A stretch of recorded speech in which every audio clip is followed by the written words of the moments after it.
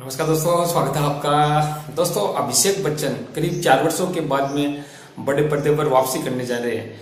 तो क्या ये उनकी वापसी बहुत खतरनाक होने वाली है, बहुत ज़बरदस्त होने वाली है? इसी के बारे में आज की वीडियो में बात करते हैं। दोस्तों, मुझे याद है कि 2019 में या 2018 एंड में फ़िल्म आई थी मन मर्जिया जो अभिषेक बच्चन की ऐसी अंतिम फ़िल्म थी जिसमें वे बड़े पर्दे पर नज़र आए थे। विक्की कौशल उनके साथ थे, तापसी पन्नू थी। और दोस्तों, अनुराग कश्यप ने इस फ़िल्म को डायरेक्ट किया था। पैंतीस करोड़ के बजट में बनी। इस फ़िल्म ने करीब करीब 30 से 32 करोड़ रुपए का बॉक्स ऑफ़िस पे कलेक्शन किया था और लगभग इस फ़िल्म को कहा तो ये जाता है कि फ्लॉप हो गई, लेकिन ये लगभग बिलो एवरेज तक पहुँची थी फ़िल्म में। और अभिषेक बच्चन की परफॉर्मेंस की काफ़ी तारीफ़ हुई थी। विक्की कौशल का भी अच्छा अभिनय था, तापसी पन्नू का भी दमदार रोल था, लेकिन अभिषेक बच्चन को एक अलग रोल में काफ़ी ज़्यादा पसंद किया गया था। उसके बाद में अभिषेक बच्चन बड़े पर्दे पर नज़र नहीं आए। एक कारण तो इसका कोविड भी था कि कोरोना के कारण सिनेमा हॉल्स बंद हो रहे थे। गवर्नमेंट उनको चलाने की अनुमति नहीं दे रही थी। और दूसरा कारण ये भी था कि अभिषेक बच्चन भी चाहते थे कि वो ओटीटी पर डेब्यू करे। तो उसके बाद में उनकी जो भी फ़िल्म आई, चाहे वो लुडो हो, या दोस्तों बॉब विश्वास हो, या द बिग बुल हो, या फिर दसवीं हो, या the breathe into the shadows, उनका जो दो पार्ट आए सीज़न के, उनके सीज़न के, वो दो पार्ट हो, सभी ओटीटी पर रिलीज़ हुए और एक बात ज़रूर अच्छी है इसमें कि इन सभी को ओटीटी पर अच्छे खासे व्यूज़ मिले, और अभिषेक बच्चन को दसवीं फ़िल्म के लिए, बॉब विश्वास फ़िल्म के लिए, द बिग बुल फ़िल्म के लिए कई पुरस्कार भी मिले हैं और उनके अभिनय की काफ़ी प्रशंसा हुई है। क्रिटिकली वो काफ़ी सराहे गए हैं, फ़िल्मों को भी काफ़ी पसंद किया गया है।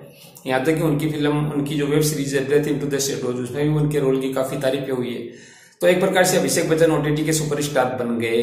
ये मैं नहीं कह रहा इंडिया टुडे ग्रुप का जो सर्वे आया था, उसमें भी ये निश्चित रूप से माना गया कि करीब 16 परसेंट से ज़्यादा लोगों ने यह कहा था कि ओटीटी के सुपरस्टार अभिषेक बच्चन है और उनको ओटीटी का बच्चन कहा जाने लगा। तो ओटीटी पर अपनी धाक जमा चुके हैं ओटीटी के सुपरस्टार बन चुके हैं।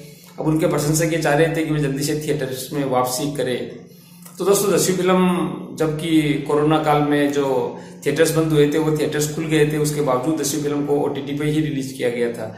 तो अब अभिषेक बच्चन थिएटर्स में कब वापसी करेंगे? तो अभी बोला फ़िल्म आ रही है। बोला में उनका एक ज़बरदस्त कैमियो है, ये आप जानते ही है।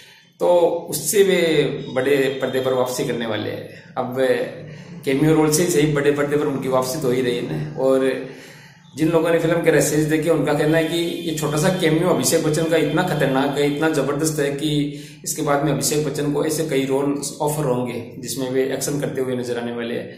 तो ये कि, ये रोल ये बोला फ़िल्म का छोटा सा रोल है, लेकिन बोला टू में अभिषेक बच्चन फिर फुल फ्लेज रोल में नज़र आने वाले हैं, क्योंकि बोला एक यूनिवर्स से कई पार्ट्स इसके बनाए जाएँगे। तो सेकंड पार्ट में Abhishek Bachchan full fledge role में नज़र आने वाले हैं। तो ये फ़िल्म एक माइंड सेट करेगी अभिषेक बच्चन के लिए, कि आगे से वे एक्शन भूमिका एक करे, क्योंकि जितनी एक्शन भूमिका में बहुत ज़्यादा फिट वे हो सकते हैं और बहुत ज़बरदस्त नज़र आ सकते हैं। उनकी जो फ़िज़िकल जो अपीरियंस है, उनकी जो पर्सनैलिटी है, जो हाइट है, जो आवाज़ है तो डेफिनेटली वे एक्शन रोल में काफ़ी अच्छे लगेंगे। तो बड़ी बड़ी फ़िल्में उनको ऑफ़र होना भी शुरू हो गई है। विजय सेतुपति के साथ वे एक एक्शन फ़िल्म करने वाले हैं, जिसके बारे में मैंने आपको बताया था। काफ़ी बड़ी फ़िल्म ये हो सकती है। और भी कई फ़िल्मों की बात हो रही है।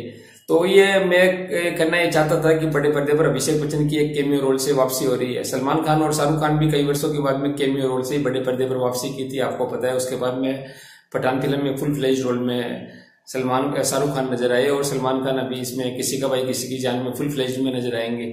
तो अभिषेक बच्चन भी कैमियो रोल से बड़े पर्दे पर आ रहे हैं। उसके बाद में मुझे लगता है कि उनकी फ़िल्म घूमर है वो थिएटर्स में ही रिलीज़ की जाएगी बड़े पर्दे पर, जिसमें वे लीडिंग रोल में होंगे। तो बोला फ़िल्म के छोटे से एक्सपीरियंस से उनको कितना बड़ा फ़ायदा होता है, ये ज़रूर देखने वाली बात होगी। चाहे छोटा सा ही रोल हो, लेकिन बहुत दमदार होना चाहिए, और अभी अभी तक तो ये खबरें आ रही है कि अभिषेक बच्चन का रोल बहुत ही दमदार है। तो दोस्तों, अभिषेक बच्चन की इस वापसी को आप कैसे देखते हैं कि अभिषेक बच्चन, जैसे ओटीटी के बड़े स्टार बने वैसे क्या बड़े स्टार बड़े पर्दे पर भी छा जाएँगे? एक बार फिर से 2004 से 2007 के बीच में जो उनका दौर था, जिस समय वे सुपरस्टार माने जाते थे, बड़े पर्दे के भी टॉप फाइव स्टार्स में उनका नाम आता था। तो क्या वैसी पोजीशन फिर से बनाने में कामयाब हो गए? जो भी आपकी राय हो, आप कमेंट करके बताइएगा। और चैनल पे अगर नहीं है तो चैनल पे चैनल को सब्सक्राइब ज़रूर कर लीजिएगा। वीडियो को ज़्यादा ज़्यादा लाइक तथा शेयर कीजिएगा। धन्यवाद दोस्तों टेक केयर जय श्री राम।